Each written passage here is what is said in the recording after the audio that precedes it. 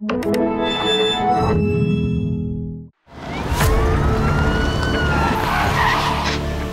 bailed him out with two.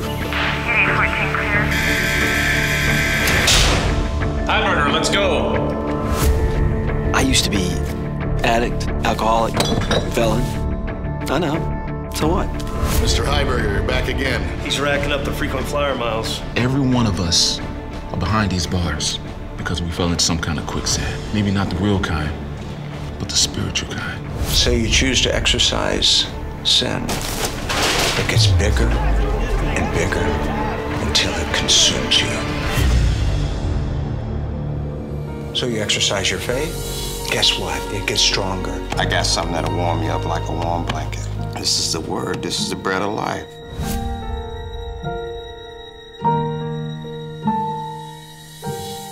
Hey, what's up? I'm Dave. I tell you, I sure wish some more guys in the joint could understand what Jesus did so that they too could be saved, you know? Like a prison ministry. We can minister to the prisoners? I sure hope so. God's got a plan, Scott.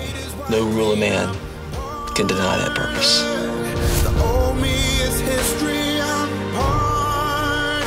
I'm sorry we have a problem. It's out of Florida. Some old trouble I had from years ago.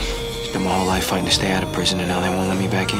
I don't know what's gonna happen. You do realize that Jonah felt the same, yes? He didn't want to go to Nineveh. So God sent a giant whale to swallow him up and drag him there.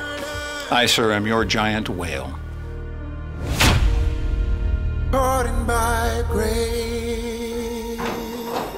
Highberger, you're up.